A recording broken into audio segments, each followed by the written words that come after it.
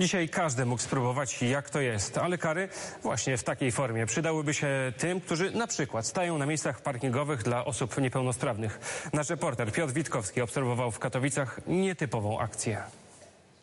Każdy, kto nie potrafi sobie wyobrazić, jak wygląda życie osoby niepełnosprawnej, dziś w Katowicach mógł wsiąść na wózek inwalidzki i zobaczyć świat z tej perspektywy. Potrzeba siły w rękach Nie ma szans, żeby nie da się, ktoś musiałby mi pomóc.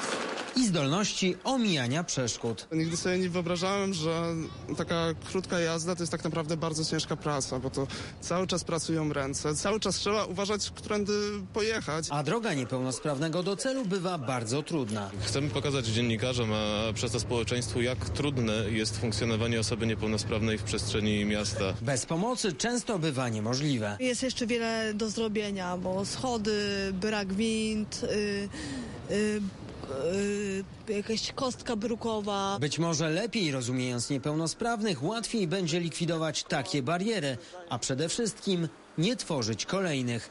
Piotr Witkowski, Polsat News, Katowice.